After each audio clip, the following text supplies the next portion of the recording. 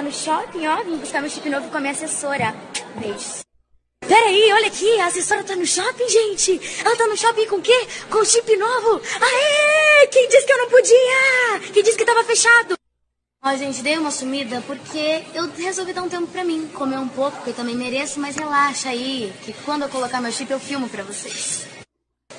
E eu vou mostrar pra todo o pessoal aqui do Brasil... Foda-se, tá, testuda! Foda-se! Testa de amolar facão, filha da puta!